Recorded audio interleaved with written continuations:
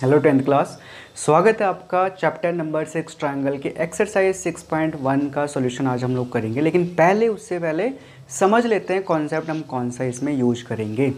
तो इसमें जो मेनली कॉन्सेप्ट हैं, वो है कॉन्ग्रेंसी और सिमिलरिटी का कॉन्सेप्ट कॉन्ग्रेंसी क्या होते हैं? कॉन्ग्रेंसी ये कहते हैं कि दो ज्योमेट्रिकल फिगर्स कब कॉन्ग्रेंट होंगे? जब उनका सेप और साइज़ सेम होगा। और सिमिलरिटी क्या कहते हैं? सिमिलरिटी कहते हैं कि सेप ज्योमेट्रिकल फिगर्स का सेम होना चाहिए। साइज़ डिफरेंट हो सकता है। क्या कहा?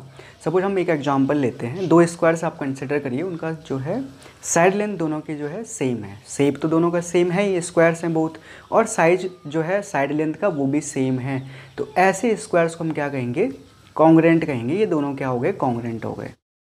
कंसिडर अ थर्ड स्क्वायर जिसकी साइड लेंथ जो है, इन पहले दो स्क्वायर से डिफरेंट है। साइड लेंथ डिफरेंट है इसकी बट सेप क्या है सेम है। तो ये पहले वाले दो कॉन्ग्रेंट ट्राइंगल का क्या हो जाएगा? सिमिलर हो जाएगा because it has same shape shape केवल सेम होता है सिमिलरिटी में साइज़ इसका डिफरेंट हो सकता है। ठीक है? होप आपको समझ आ गया होगा। एक और एग्ज़ाम्पल लेते हैं। तो जैसे मेरे पास यहाँ पर तो इसको और बेहतर तरीके से समझते हैं। ये मैंने दो बोटल्स ले रखे हैं। आप देखें इनको ध्यान से। इनमें आप देखोगे इनका सेप और साइज़ दोनों का क्या है? सेम है है ना? दोनों के जो है सेप भी सेम है और साइज़ भी सेम है। तो हम कहेंगे दोनों के दोनों बॉटल्स क्या हैं? एक दूसरे के कॉन्ग्रेंट हैं। समझ जाएँगे? कॉन्ग्रेंसी में क्या होगा? मैं रिपीट कर रहा हूँ। सेप और साइज़ दोनों का क्या होगा? सेम होगा, ठीक है? अब मैंने दो डिफरेंट बोटल्स ले रखी हैं, आप देखो इन दो बोटल्स को। इसमें आप नोटिस करिए, दोनों का जो है सेप सेम है, ठीक है? इसको इग्नोर कर दो थोड़ा सा यहाँ पे, ये अंदर की तरफ़ थोड़ा सा धसा हुआ है, ये चीज़ हम इग्नोर करते हैं।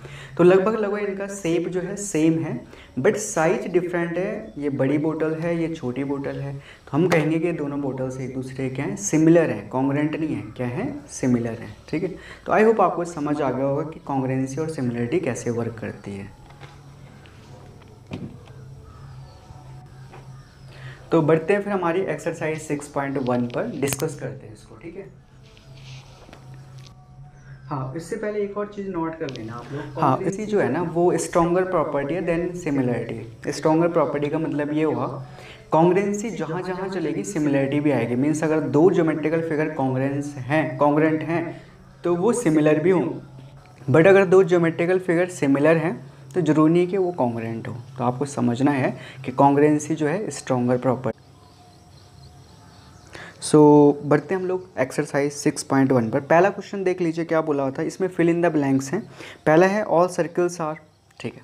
कोई भी सर्किल आप ड्रॉ करते हैं ये देखिए मैं यहाँ पे दो सर्किल ड्रॉ करता हूँ। एक ये है और एक छोटा सा सर्किल ड्रॉ करते हैं जिसकी रेडियस बहुत छोटी होगी। तो ये दोनों के दोनों क्या है? सेप इन दोनों का क्या है? सेम है बट साइज़ डिफरेंट है। तो क्या हो गया?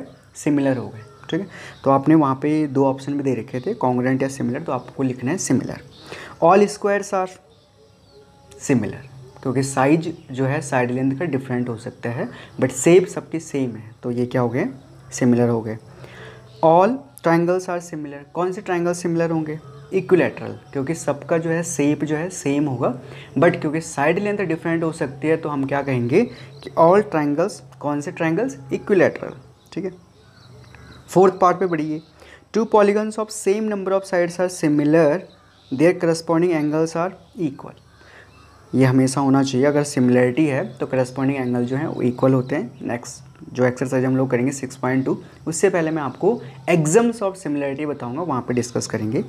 देर करस्पॉन्डिंग साइड्स आर क्या होना चाहिए? उनका रेशियो जो है सेम होना चाहिए। मैंने क्या कहा सिमिलरिटी में? इक्वल होना ज़रूरी नहीं है। क्या होना चाहिए? उनका सेप सेम होना चाहिए। तो इसका मतलब वो प्रपोर्शनैलिटी होनी चाहिए उनमें सेप में। तो यहाँ पे आपको क्या लिखना है? Their corresponding sides are proportional question number two देखिए। Give two different examples of pair similar figures हमें क्या करना है? जो सिमिलर फिगर्स हैं, उनके एग्ज़ाम्पल देने हैं। तो पहले वाले में तो आप यही कर दीजिए जो मैंने यहाँ पे सर्कल बना रखे हैं। ठीक है? सर्कल क्या होते हैं? एक दूसरे के सिमिलर होते हैं। स्क्वायर्स क्या होते हैं? सिमिलर होते हैं। इसके अलावा अगर आप ट्राइंगल ड्रॉ करेंगे तो वो भी क्या होते हैं? Equilateral triangle sorry equilateral triangle अगर आप ड्रॉ करेंगे तो वो भी क्या होते हैं? सिमिलर होते हैं, ये समझना है।